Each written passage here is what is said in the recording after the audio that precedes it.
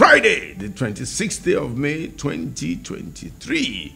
God, my God, my great God will be there with you. Tonight we have our vigil and we pray that you'll be around to receive this abundance that God has blessed us with. The abundance family. God bless you all.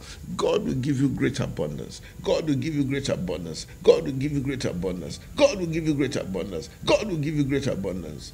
The Bible says that the children of Israel began to give and they began to give and they began to give and they began to give. And as they gave, suddenly the prophet said, Stop!